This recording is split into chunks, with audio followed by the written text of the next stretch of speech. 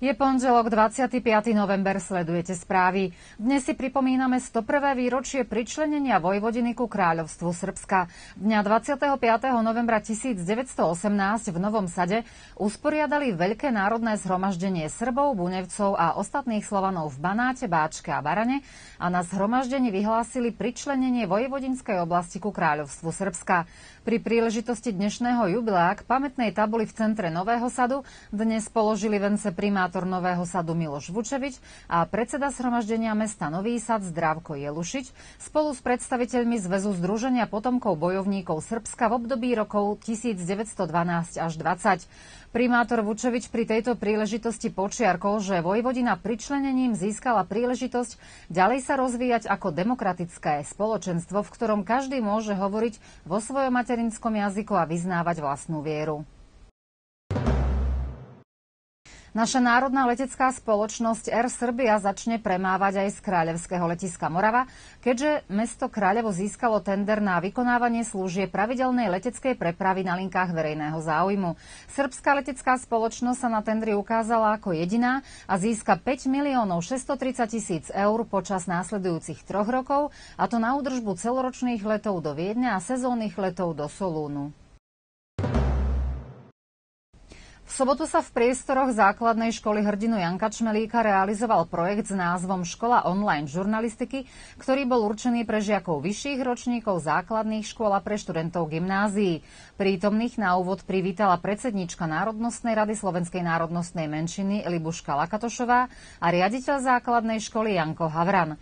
Okolo 30 mladých záujemcov si najprv v rámci teoretickej časti vypočulo prednášku, absolvovali prechádzku po Starej Pazove a návštevu etnom múzea Združenia pazovských žien, kde ich úlohou bolo nafotiť zo pár fotografií. Tie potom v rámci praktickej časti analyzovali a písali fotoreportáž z terénu. Organizátorom tohto školenia je Výbor pre informovanie Národnostnej rady Slovenskej národnostnej menšiny a cieľom bolo priblížiť mládeži prácu z oblasti tvorby online správ, s ktorými sa dnes denne stretávame na internete, tabletoch a v mobiloch. Sobotu sa v základnej školy Simeon Aranicky v Starej Pazove zišlo veľa detí, učiteľov a tiež pracovníci Centra sociálnej práce a profesionálni cukrári. Každý z prítomných určite ochutnal nejednú sladkú pochuťku.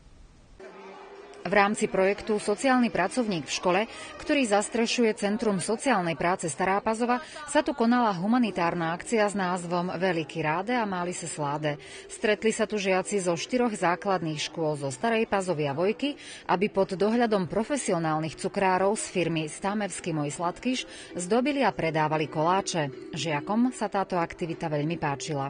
Chystáme koláče s vanilou a s čokoládou. E, je ťažko dekorovať taký krásny koláč? Niekedy je a niekedy nie. E, doma robíš koláče? Áno, veľmi rád robím koláče. Možno to bude tvoje budúce povolanie? Môže byť.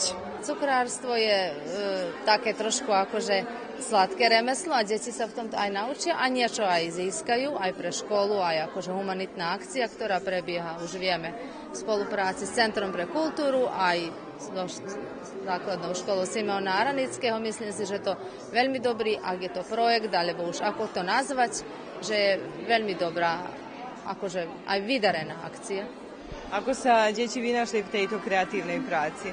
Myslím, že sa im to páči a že každá škola okrašlila tie už pripravené vopred mafiny i na iný spôsob. A potom sa ako keby sa až závodili v tom, kto urobí krajšie, e, dekoratívnejšie a tak. Vidím, že každý inak urobil, aj to je naozaj chválihodné. Možno je toto nie, e, pre niekoho aj cesta k tomu budúcemu povolaniu. Istotne, istotne. Ja vidím, že oni sú záľubou. Pozrieme sa na dievča, ktoré si aj čiapku dalo, aby bo mala, akože, ako bola ozajstná kuchárka. Takže myslím, že naozaj niečo ich pri, k niečomu ich privedie. Aspoň je to k tomu, že máme pomôžu doma robiť koláče. Finančné prostriedky získané z predaja koláčov budú použité na nákup materiálu a výbavy pre základné školy v súlade s potrebami školy a nápadmi žiakov. Humanitárnu akciu organizovalo Centrum sociálnej práce Stará Pazova v spolupráci so základnou školou Simeon Aranicky. Včera večer sa divadelná sála v Starej Pazove naplnila aj spevákmi, aj divákmi a spev sa z týchto miest rozoznieval do celého Sriemu. Konal sa tu jubilejný 20. ročník festivalu Rozospievaný Sriem, ktorý bol revuálneho charakteru. Koncert moderovala Miruška Kočišová, prítomným sa v úvode prihovorili predsedníčka Národnostnej rady Slovenskej národnostnej menšiny Libuška Lakatošová a predseda Matice Slovenskej v Srbsku Ján Brtka. Na pódiu odznelo 17 slovenských ľudových piesní v podaní 15 spevákov, ktorí sa už v minulosti raz či viackrát zúčastnili na tomto festivale a dosiahli úspešné výsledky.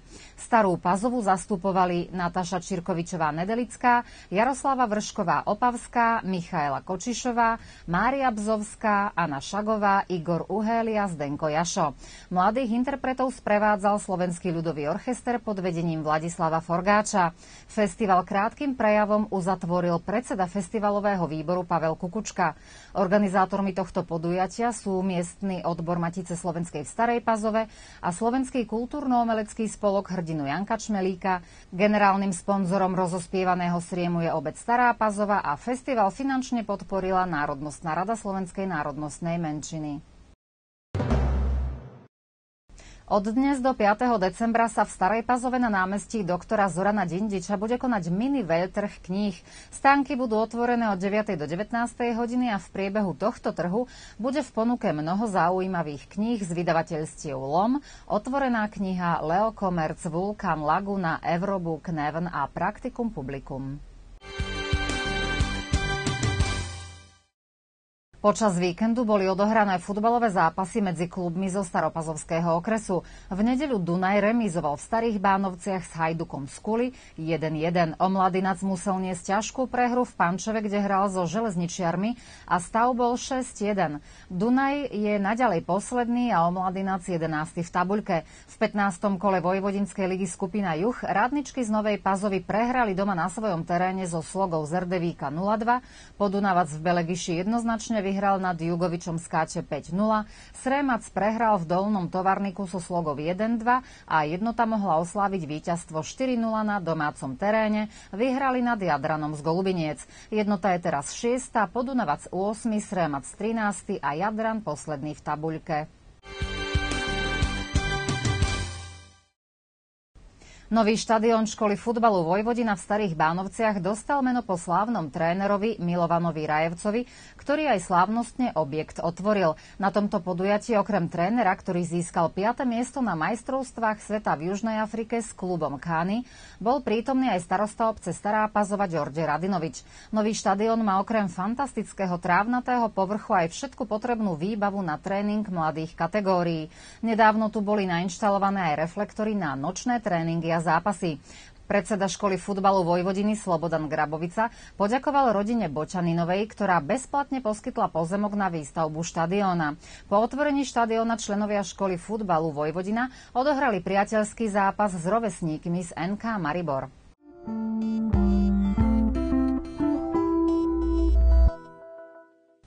V útorok príjemné slnečné počasie, len z rána mierna oblačnosť, teploty od 5 do maximálnych 14 stupňov. Mierny vietor pocítime priamo z východu. Ešte pohľad do meninového kalendára. Dnes gratulujeme všetkým Katarínam, zajtra má meniny Kornel. To už bola bodka za dnešným spravodajstvom. Ďakujeme, že ste nás sledovali a dovidenia zajtra.